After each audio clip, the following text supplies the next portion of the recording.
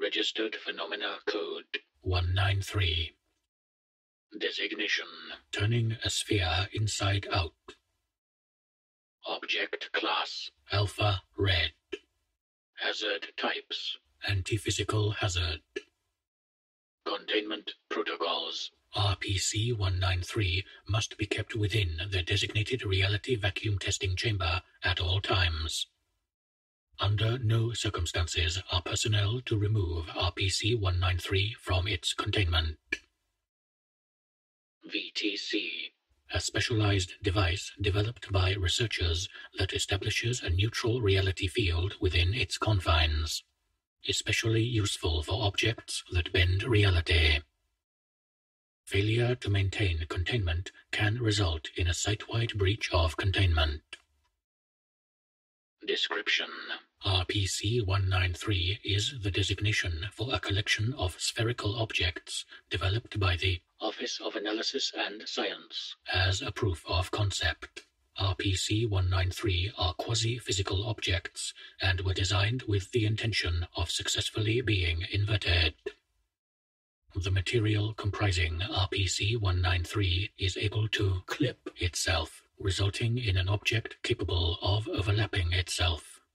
Utilizing a specialized mechanical apparatus, researchers were successfully able to invert the surface of RPC-193.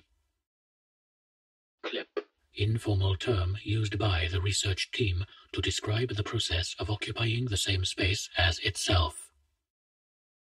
Initially, the team attempted to achieve this with multiple different geometric structures, such as cubes, tetrahedrons, and pyramids. After numerous failures, a spherical figure was determined to be most successful in early testing, leading to the full development of RPC-193. The creation of RVTCs occurred following the discovery of volatile properties displayed by RPC-193 instances.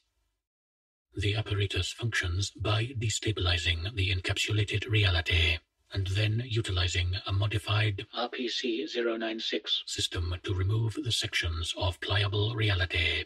This effectively creates a reality void suitable for testing. RPC-193 instances are unstable and extremely volatile in areas of exceptionally low or high real stability. Removing an instance of RPC-193 from the specialized RVTCs they are contained in can cause a variety of phenomena, including inadvertent nuclear fission caused by the rapid inversion of surrounding atoms. As such, proper precautions, even when testing within an RVTC, are strictly enforced. Ongoing research into practical applications of RPC-193 is pending.